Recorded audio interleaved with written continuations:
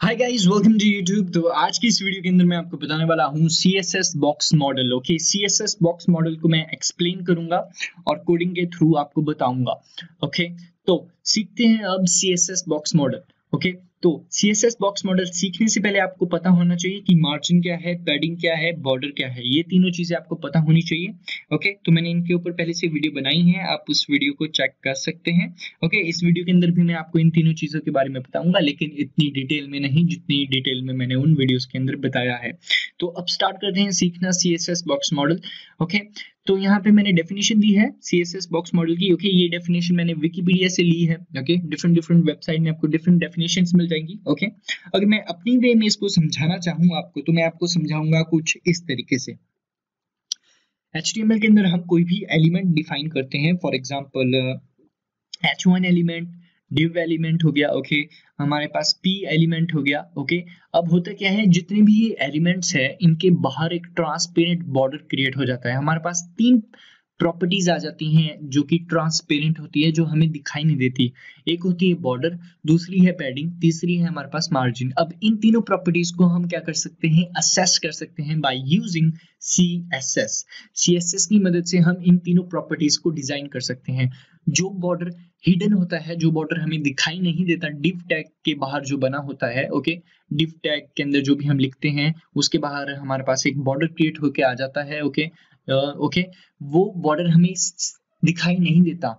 उस बॉर्डर को विजिबल बनाने के लिए हम यूज़ कर सकते हैं C S S okay C S S property की मदद से C S S border property की मदद से हम उसको विजिबल बना सकते हैं ओके बेसिकली ओके और साथ ही साथ हमारे पास है पैडिंग और margin okay C S S की मदद से हम पैडिंग और मार्जिन को भी कंट्रोल कर सकते हैं। अब मैं आपको यहाँ पे डायग्राम के थ्रू बताने की कोशिश करूँगा, उसके बाद हम कोडिंग करेंगे ताकि आपको अच्छे से समझ आ जाए। अब तो जैसे कि मैंने आपको अपनी डेफिनेशन में बताया कि हम कोई भी एलिमेंट डिफाइन करते हैं फॉर एग्ज़ाम्पल मैंने डिव यहाँ पे डिफाइन किया ओके okay?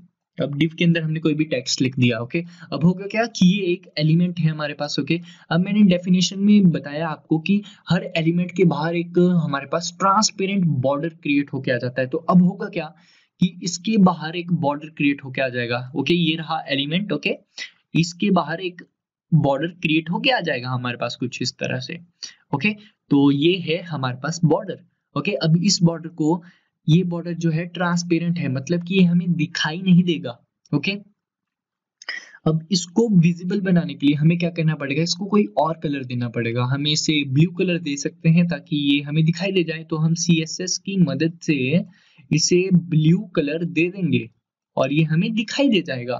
फिर मैंने आपसे कहा कि हमारे पास दो और चीज़ें होती है, वो है पैडिंग और मार्जिन अब पैडिंग क्या है और मार्जिन क्या है? पैडिंग बहुत सिंपल सी चीज़ है ओके पैडिंग जो होता है, हमारे पास होता है, जो गैप होता है आपके बॉर्डर और एलिमेंट के बीच ओके ये वाला गैप जितना भी ये गैप आपको दिख रहा है ऑरेंज कलर में, ये कहलाता है पैडिंग ओके पैडिंग ये कहलाता है पैडिंग और सीएसएस में हम क्या कर सकते हैं? इस गैप को पैडिंग की मदद से कंट्रोल कर सकते हैं, ज़्यादा भी कर सकते हैं, कम भी कर सकते हैं ओके और मार्जिन जो होता है, वो होता है पैडिंग का बिल्कुल उल्टा ओके तो इसमें क्या होगा? इस केस में जितना भी स्पेस बाहर होता है बॉर्डर के बाहर जितना भी ये स्पेस है रेड कलर का आपको दिखाई दे रहा है, वो कहलाता है मार्जिन ओके तो ये है C S S box model हमारे पास।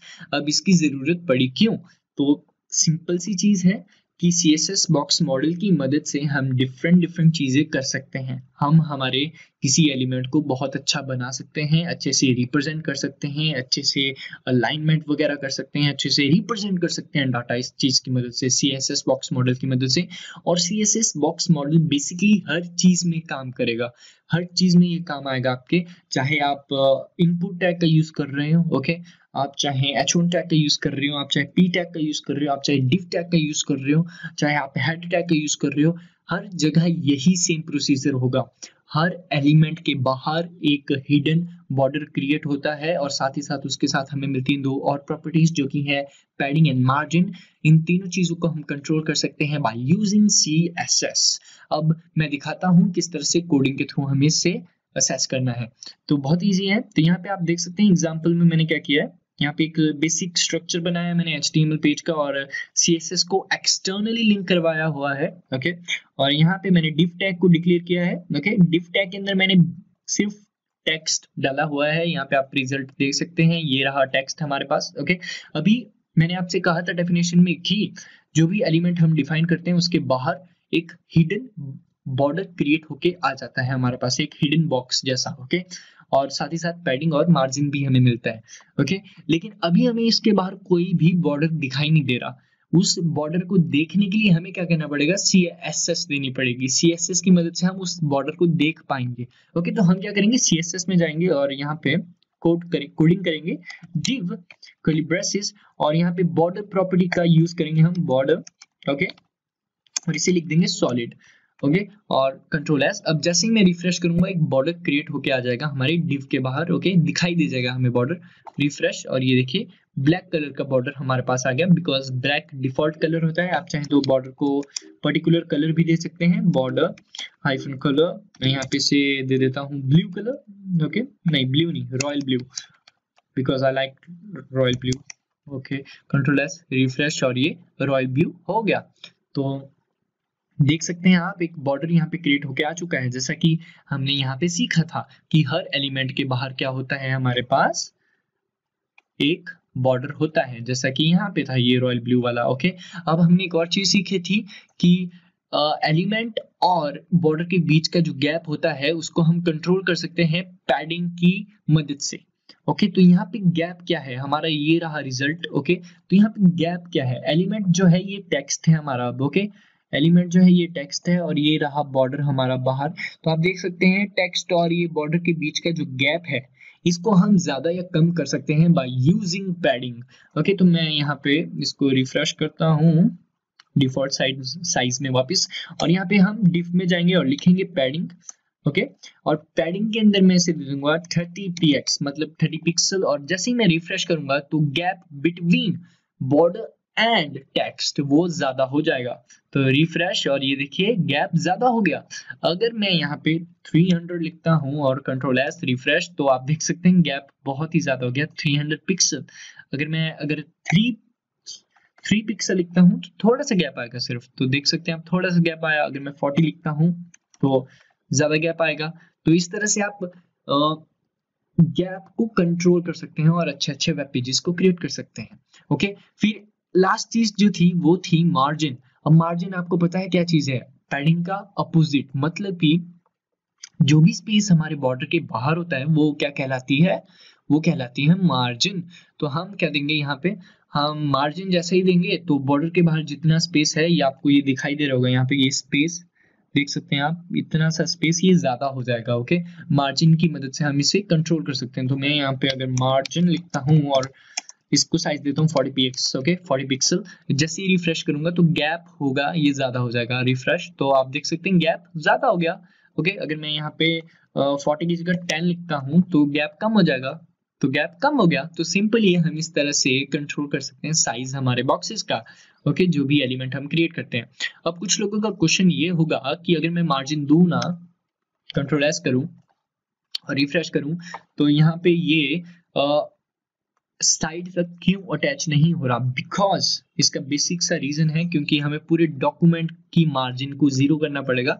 तो डॉक्यूमेंट की मार्जिन ज़ीरो करना कोई बड़ी बात नहीं है, बहुत ईजी है। जिस तरह से एलिमेंट को ग्रैप किया जाता है, यहाँ पे हमने, आप देख सकते हैं डिव एलिमेंट था ओके डिव को एडिट करने के लिए हमने यहाँ पे डिव का यूज़ किया ओके उसी तरह से पूरे डॉक्यूमेंट की जो आईडी होती है, वो होती है हमारे पास, ये स्टार ओके स्टार का यूज़ करना है आपको कलिब्रेसिस और यहाँ पे मार्जिन लिखेंगे हम ओके मार्जिन और इसको ज़ीरो पिक्सल लिख दूँगा और कंट्रोल एस रिफ्रेश और ये जो बॉर्डर है पूरा अटैच हो जाएगा साइड में। और रिफ्रेश और ये देखिए वो बॉर्डर पूरा का पूरा अटैच हो गया। तो ये था C S S box model इस C S S box model की मदद से ओके okay, आप बहुत अच्छी अच्छी चीज़ें क्रिएट कर सकते हैं। ओके फॉर एग्ज़ाम्पल यहाँ मैं इसे पूरा रॉयल ब्लू बना देता हूँ आपको बहुत अच्छा दिखाई देगा ये। ओके, एक मिनट बस। और इसे कलर दे देता हूँ टेक्स्ट को वाइट कंट्रोल एस रिफ्रेश और देखिए कितना अच्छा दिखाई दे रहा है यहाँ पे, जो हमारा बॉक्स हमने अभी अभी क्रिएट किया, कितना अच्छा और सिंपल सा दिखाई दे रहा है। ओके तो इस तरह से C S S box model की मदद से हम बहुत अच्छे अच्छे बॉक्सेस क्रिएट कर सकते हैं। बहुत ईजी है ये लर्न करना और बहुत काम की चीज़ है। ओके, आप जितना टाइम देंगे, उतना अच्छा होगा आपके लिए। ओके तो ये था C S S box model अगर कोई क्वेश्चन हो तो प्लीज़ कमेंट सेक्शन में आप मुझसे पूछ सकते हैं, मैं आपकी हेल्प ज़रूर करूँगा ओके और मैं कोशिश करूँगा कि आपके साथ इंटरेक्ट कर पाऊँ। तो इसलिए मैं चाहता हूँ कि मैं आपको एक होमवर्क दूँ। अगर अगर कोई मेरी वीडियो देखता हो तो आप आप सॉरी अगर आप मेरी वीडियो देखते होंगे तो आपको मैं एक होमवर्क दे रहा हूँ। तो होमवर्क में सिर्फ़ इतना सा है कि आपको करना क्या है? आपको टू बॉक्सेस को क्रिएट करना है ओके सीएसएस में ओके तो एक बॉक्स को आपको टॉप में दिखाना है और एक बॉक्स को आपको बॉटम में दिखाना है ओके आपको डिफ टैग का यूज़ नहीं करना है, आपको यूज़ करना है टॉप वाले बॉक्स के लिए हेड का और जो बॉटम वाला बॉक्स है उसके लिए फुटर का। और कोशिश कीजिएगा कि जो हेड वाला जो आप बना रहे हो बॉक्स ओके हेड टैग का जो यूज़ कर रहे हो आप, उसमें आपका जो भी एलिमेंट हो, जो भी कुछ आप लिखें, वो टॉप में आए और जो फुटर का यूज़ करोगे आप, वो नीचे आए ओके तो ये है आपका होमवर्क आई होप आपको समझ आया होमवर्क ओके तो thank you so much for watching this video please like share and subscribe and bye take care